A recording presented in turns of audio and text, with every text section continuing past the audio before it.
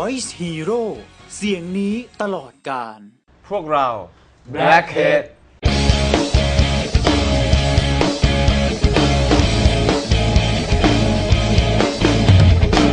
เคสคือมิตรภาพ พวกเขาเป็นวงดนตรีที่เป็นทีมที่ค่อนข้างจะเพอร์เฟกในเรื่องทีมเวิร์กนี่คือนักร้องเพลงร็อกที่ดีที่สุด ก็สุดยอดถือว่าสุดยอด เจ๋งอะชอบ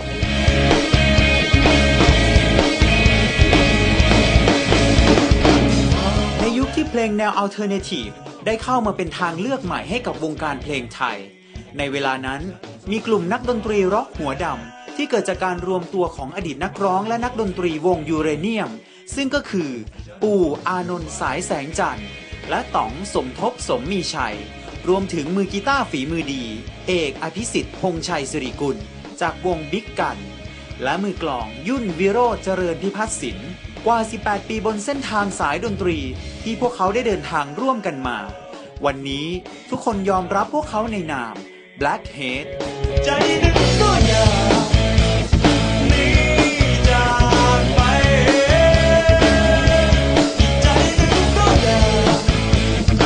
แรกเลยที่เราคุยกันไว้ทั้งหมดเราก็เราจะเป็นมัน indie มีหลายชื่อมากครับมันตอนนั้นมันเราอยู่ในค่ายที่กึ่งกึ่งๆอีกแล้วใช่ กึ่งอินดี้ นั่นคือค่าย M Square M Square มีเดียมีเดียในการเอ่อชักนำของพี่ปูพงศิษฐ์นะครับที่เอ่อตอนแรก ๆ เลยต้องบอกก่อนว่าเราไปเอาเดโมของเรานะที่เราใช่ รวบรวมกันเสร็จแล้วเนี่ยไปให้พี่ปูฟังตลอดเวลาอ่าแล้วพี่อ่าพี่ปูบังเอิญว่าตอนนั้นค่ะก็อ่า ได้เข้าไปเป็น Executive ใช่ Producer ของค่าย M Square M Square แกก็เลยเอาอันเนี้ยไอ้เดโมของเราเนี่ยอ่าเข้าไปเข้าไปในที่ประชุม แล้วก็พิจารณา อ่าแล้วก็อ่าโดยการันตีจากพี่ปูพงศิษฐ์ว่างั้นเถอะอ่าเรามันก็เลยผ่านขึ้นมา อ่า จากนั้นเราก็เลยได้มีโอกาสบันทึกเสียง ครับ ก็ผมเจอเขาเป็นสิบสิบปีที่แล้วนะครับ ก็เจอครั้งแรกก็ก็ได้ฟังงานของเขาก็สิ่งที่รู้สึกแรกนี่คือคิดว่าเขาไปได้ แล้วก็น่าจะน่าจะเป็นดนตรี วงดนตรีที่เป็นความหวังสำหรับวงการเพลงไทยวงหนึ่ง เคสแล้วเขามีชื่อมาให้เรียกแล้วก็มีครีเอทีฟเยอะแยะมากมายตอนนนเรายังไม่คิดจะแต่งเพลงด้วยนะก็เลยเอาชื่อเอาชื่อวงมาให้เรียกแล้วมีอะไรบ้างนะพี่ เพียบไปหมด My Brain My Brain Die for You Die for You มี Black Case มีอะไรเยอะแยะแต่ว่าเลยสุดมาเรียก Black Case เลย อัลบั้ม The Album Blackhead นับเป็นการแจ้งเกิดในฐานะวงดนตรีร็อกหน้าใหม่ของ Blackhead เราตอนนั้นก็กระแสอินดี้เขาเรียกกระแส alternative กำลังมา ตอนนั้นก็จะมีวง Modern Dog วง Smile Buffalo วงอะไรที่ก็เริ่มทำงานกันเอง แล้วก็ออกมาแล้วก็ดังนะฮะก็เราก็มีอยู่ในช่วงนั้นเหมือนกัน ก็เลยออกมาเริ่มทำงานตั้งแต่ตรงนั้น จริง ๆ แล้วเราก็ผลิตกันเองหมดอะไรกันเพลงเขียนเพลงเอง ก็ทำดนตรีเอง produce เองหมด เราทำกันนานมากชุดนี้ใช่บอกเพราะว่าจริงๆเราได้อัดเสียงลองซ้อมอัดกันมาแล้วซ้อมช่วงนึงยุคนั้นไม่เป็นยุคอนาล็อกครับ อ่า เพราะฉะนั้นเวลาอัดทีนึงเราก็อ่ากลองนี่ก็ใช้เวลาไปเท่าไหร่แล้วก็นาน นานมากมันไม่มีการ edit ได้ไม่มีอะไรใดๆทั้งสิ้น เพราะฉะนั้นมีขอบถ้าจะซ่อมคือต้องซ่อมทั้งเพลงแก้ใหม่หมด อ่าฮะต้องอ่าอ่าใช้เวลานานครับอัลบั้มแรกเลยเราเปิดตัวด้วยเพลงทน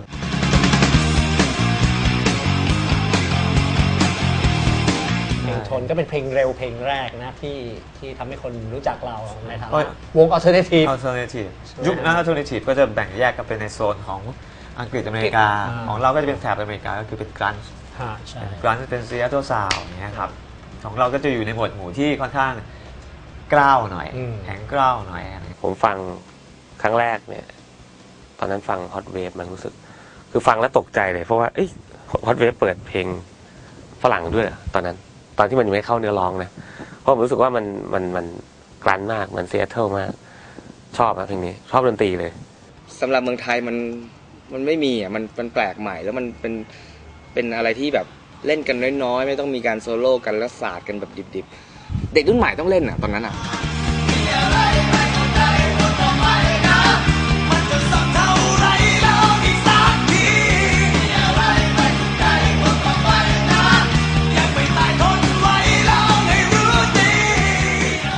ฟังแล้วแบบฝรั่งจ๋ามาก แต่ว่าเข้าบทเพลงที่แบบว่าเพลงฮิตเพลงช้าก็แบบ ผมว่ามันโดนใจคนไทยด้วย